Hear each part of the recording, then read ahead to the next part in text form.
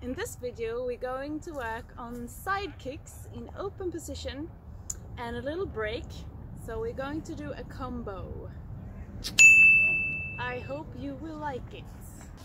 One, two, three, five, seven, one, three, five, seven, one, three, five, seven, one, three, five, seven. Everything is gonna start with a little trap kick on the five.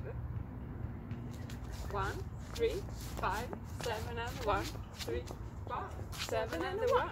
So we're not like twisting our bodies out like this.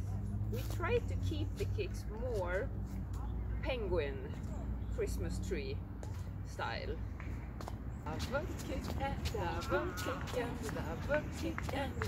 When we do the double kicks, we use a, a sideway connection. So want us to kick with our inner leg, I open up. So she's putting me on my left foot. These arms are nice and relaxed. And when I want us to switch to the other foot, click, then I just pull here and then we kick like this.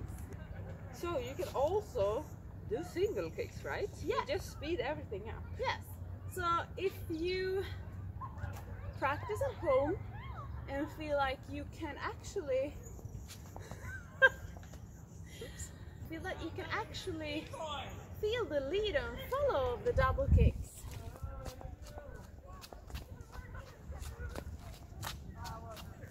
You can speed it up.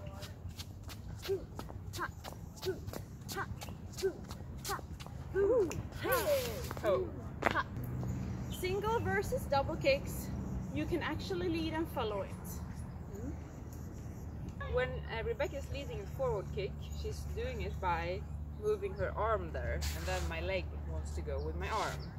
One, five, seven, one, three, five, seven, one, three, five, seven.